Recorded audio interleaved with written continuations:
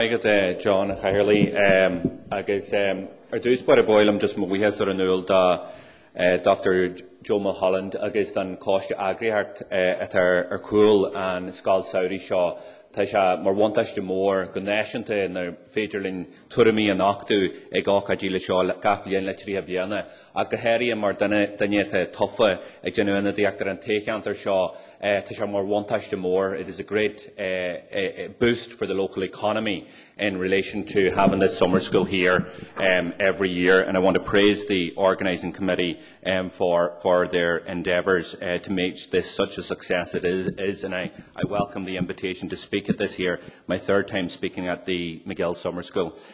The question that has been asked of us here in, in this session is whether we need our electoral systems and political culture does it need to be changed? And I'm one that believes wholeheartedly that both are requiring substantial change.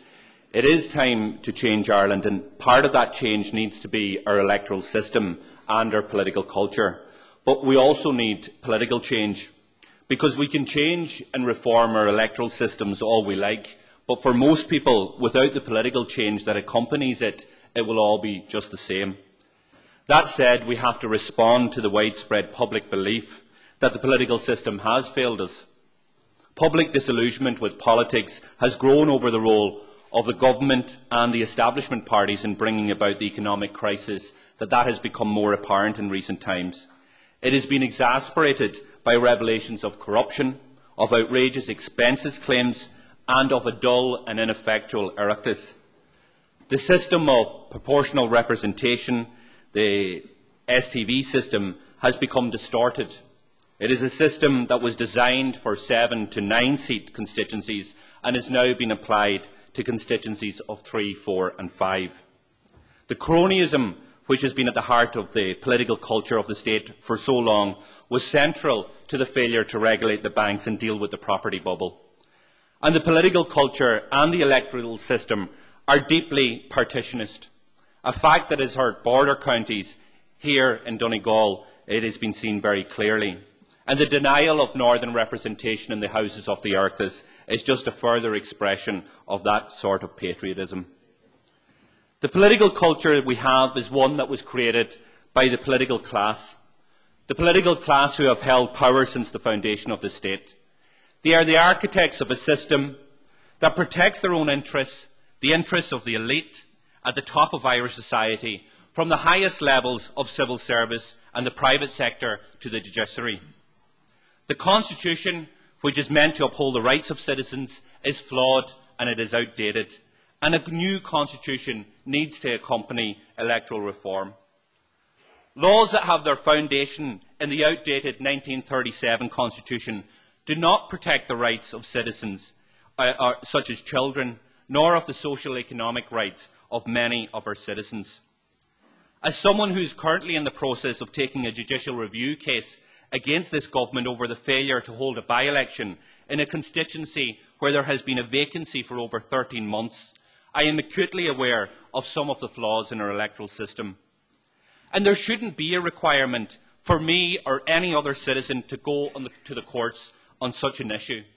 A time limit for, holding, for the holding of by-elections should be set down in law and is one of the easy measures that could be introduced in September when the Dáil resumes. Our electoral system and the Oireachtas are not fit for the modern democracy. The electoral system has given us an Oireachtas that is largely male, middle class and middle aged, and it is not surprising that it is so unrepresentative. Many people have no engagement at all with our electoral system. They are either not on the electoral register, they don't vote, or they simply don't care. Those most estranged from our electoral systems and from politics come from the most disadvantaged communities in the state. And any reform, any reform that we propose or that we undertake of our political system must have as one of its first objectives to increase the participation of our citizens, particularly those who do not participate in the political process at all levels, from voting right up to holding office. Voters are the key starting block of any electoral system, but often the most overlooked getting simply on the electoral register should be a simple and straightforward matter, but it isn't. using PPS numbers to avoid fraud, rather than putting hurdles in the paths of those seeking to get on the register, should be implemented. The process needs simplification, with automatic renewals of registered voters for starters. And I would like to see an independent electoral commission take on this task rather than leave it to local authorities across the state, as is the case at present. An electoral commission could take on this task along with voter education on elections. And the most critical task of such a commission should be to increase turnout of numbers and numbers contesting seats at all tiers of representation. All elections, in my belief, should be held at the weekend to increase participation, and we should look at the issue of two-day polling to allow maximum participation. I believe that voting age should be reduced to 16 and consideration should be given to reducing the age at which a person can run for office in the Dáil from 21 down to 18. And we need to do this to get more young people engaged in politics.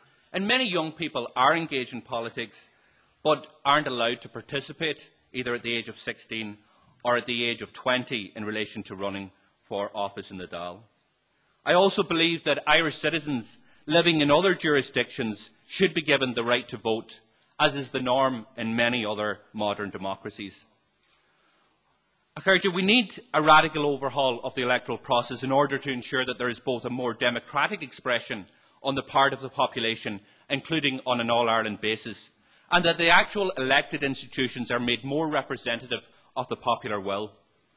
Proportional representation should be strengthened, should be strengthened through the introduction of larger multi-seat constituencies, as there were under the revolutionary First Dáil and for a period after, after the founding of the southern state.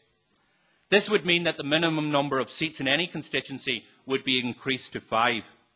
That would ensure a more accurate representation of parties and individuals based on their percentage vote, in contrast to the current system that favours the largest parties, especially in the case of three and four seat constituencies. And I also believe, there's been a bit of discussion about this here, but there should be an examination, and we've got a taste of that there today, about the party list system and how it operates in other countries. And we should consider it, if necessary, introducing such a system to elect a proportion of the Dáil. It is my belief that we need to strengthen the role of Parliament, and the Dáil can become more effective if small changes were implemented which could empower the opposition to make more effective uh, use of their time and make the, more, uh, make the Dáil more relevant and more accountable and more relevant to the lives of the ordinary people. The Dáil needs to play a stronger role in holding the government to account, and I would like to see a situation where ordinary TDs, where backbenchers would be able to get to their feet and question the Taoiseachs on the issues that are of direct relevance to them and their constituents without having to give the four days prior notice of, the, of their intention to put down such a question. We need the Dáil to be more spontaneous than it is at present. We need to allow uh, the discussion that ha is happening in each community, in the parishes and the corner shops, to take place in the Dáil and the current rules that are set down doesn't allow for that to take place uh, immediately. So I want to see big changes in terms of how all of this operates, but also how legislation is brought through the Oireachtas and how the committees work. I believe that legislation should start in the committees, allowing for members to have a real influence in the formation of legislation, and all members should be allowed to bring forward draft legislation for consideration by the committee that they are a member of and the committee's chairs should be allocated proportionally based on party strengths and individual relevance and should not have the additional financial reward attached to them. They, should, they shouldn't be used as a reward for loyal backbenchers or whatever party is in government. Committees should also be given greater powers of investigation and there should be an obligation on the government to consider proposals put forward by a committee, such as reports that are to be done by members of the Oireachtas on, on a monthly basis one of my own reports into tackling the social and economic inequalities in the West, although passed by an Oireachtas committee unanimously, doesn't require the government to pay any attention into one of the hundred proposals that is uh, been submitted by that committee to the government ministers. I think taking the fixation of the local issues out of parliamentary elections It just can't happen if there's not a parallel reform and empowerment of local government in Ireland. I believe both go hand in hand. And Dáil reform needs to see us move towards a more fam family-friendly sittings. And I know many people wouldn't appreciate me saying this, but I believe that if we are to increase, increase the number of female representation in the Houses of the Oireachtas, then we need to look at shorter sitting days, but with shorter periods of recess over the summer and Christmas. And I know that won't suit anybody, as somebody who has the, the longest journey to travel from my home to the houses of the Oireachtas. I, I like the idea when I have to stay overnight that we can sit till 11 or 12 or in some cases 1 o'clock in the morning to deal with legislation. But the reality is for those, for many of those who travel home and who can travel home because of the proximity to Dublin, it, it doesn't suit it doesn't suit raising a family uh, when you're sitting uh, to, to one o'clock in the morning three, three days a week. So I think that we do need to look at a, a better system that uh, would allow those with, uh, with parents and those with young families to participate uh, in, in the Dáil and in the Seanad uh, in a more family-friendly way. I think that we also need to make the Dáil more accessible to the public. And we only have to look at the Constitution, and the Constitution says that setting of the Dáil should happen in public. But the reality is, anybody who's been to the Dáil, anybody who's been to the Houses of the Oireachtas, the reality is if you want to sit in the visitors' gallery, then you have to get the permission of a member of the Houses of the Oireachtas. A member of the Houses uh, of the Seanad or of the Dáil has to sign you in. And so it is a privileged position, and it's not happening in public. It's happening in public uh, for those that want to, for those that have access to a politician. But somebody walking into the street cannot go into the houses of the Oireachtas and listen to the debate that's taking, and I believe this is something that should change. If we are serious about addressing, addressing the warped political culture in the state, then that will require a shift that seeks an end to cronyism and an end to the privileged position enjoyed by the elite in the state. We may not have a body of registered lo lobbyists in the state, but what we have is something far more insidious. We have politicians who, in many cases, are too close to those that they are meant to be regulating, rewarding those close to you with position on state boards, moving government departments to your own constituencies, ensuring sports clubs in your own constituency gets a disproportionate level of funding when you are a minister. These are all examples of cronyism at work. And over recent years, we have had the government politicians too close to the property developers, the property developers too close to the bankers, the bankers too close to the regulator, and is it any surprise that we are in such a mess that we're in today? After the 2007 general election, we saw a person who was junior minister in the government move straight to the head of the Construction Industry Federation. And we need rules to prevent such moves. We need rules to prevent people from making moves like this straight from government to the heart of those bodies trying to wield influence over government policies. And there's also a need to end the situation where positions on state boards are doled out as rewards to supporters of whatever party happens to be in government. And there also needs to be a call of the quangos of the unelected bodies and cut back on the waste and, improved, and improvement of transparency and efficiency in decision making. As a member of the Seanad, and I've said this many times, I've said this before I was elected to the Seanad, and I've also said it afterwards and on many occasions, both uh, in the Seanad and outside before Enda Kenny uh, had that um, brainstorm, whatever evening he had that. But I do believe that the current Seanad serves no useful purpose and should be abolished. As it is currently constituted, it is not a democratic institution and it merely reproduced the existing balance of power in the Dáil and acts as a rubber stamp for government. And I talked about, I listened to Noel's contribution and he talked about political reform and the parties maybe kicking it into the long grass. And we've had, we've had committees scrutinise the uh, reform of the Seanad about 11 different reports, um, a constitutional referendum that's never been act, enacted, uh, and we've had all of that. And the latest cross-party supported uh, proposals which aren't support supported by Sinn Féin, because Sinn Féin weren't in the Seanad at the time and weren't part of it, but they were produced just before the 2007 general election, so they're quite new and Fine Gael, Fianna Fáil, Labour uh, have signed up to these. And, and, and those proposals increase the numbers in the Seanad. They increase the numbers of Taoiseach's nominees to the Seanad, and they do introduce a partial list system. But I believe that that's the type, if that's the type of uh, political reform then we're having, then uh, you know, we may not have it at all. I believe that there could be a case made for a system with two houses of parliament, uh, but for this to make sense, they have to have two very clear and separate and defined roles. The current Seanad is an affront to democracy. It gives votes to people based on their educational attainment. It gives multiple votes to members of local authority. And it ensures a government majority through 11 Taoiseach's nominees.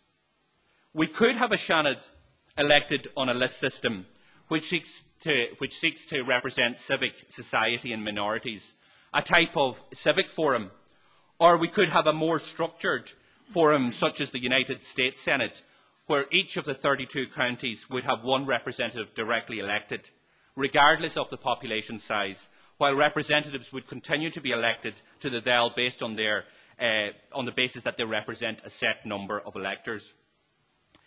My own view is that all of members of the Seanad should be directly elected. I believe that those from political parties should be barred from seeking nomination, and I believe that those from outside the state and those uh, from the age of 16 should be able to elect representatives in the Seanad, and it should seek to be a civic forum.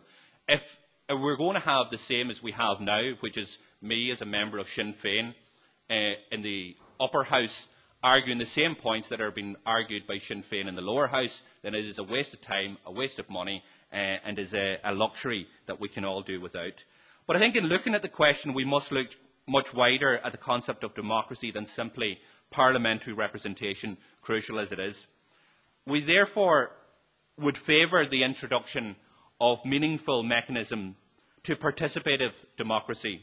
And these would include local community councils and citizens' initiative, which would allow people to set and train a process leading to legislation on specific issues and which would give ordinary citizens a direct input into decision making. A major transformation of local government is also required, including an increase in councillors' power to include appropriate local control over the provision of services, including greater local control over budgets and financing of local government. That could also require the power to collect tax revenue. We would also restore or increase councillors' power over planning, housing, transportation and waste management. In recent years, councillors will know that the powers that they've had have, have been curtailed, particularly in, the, in relation to waste management. And that would correspondingly limit the power of uh, county and city managers' uh, powers as they exist at this point in time. The structure of local government needs to be reformed in order to make it more accountable.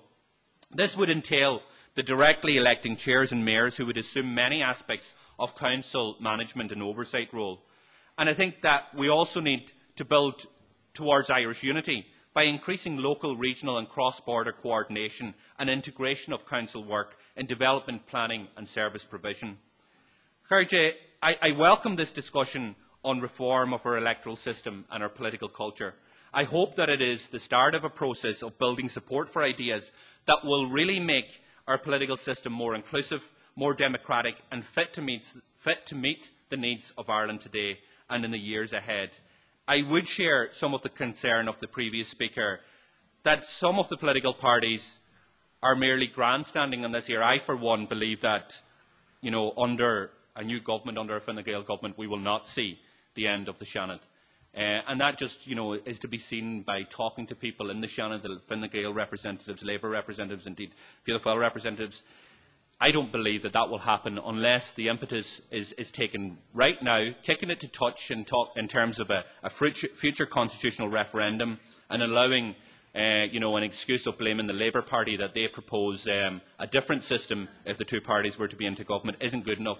We need to take decisive action. We've had many, many reports on this year. We've had the experts, the scientists, report on this year, and I think it is time for serious political reform and a change to the political culture, but also the need for wider political change and not just a case of cha moving uh, chairs around both the houses of, of Oireachtas at this point in time. Grammaigat.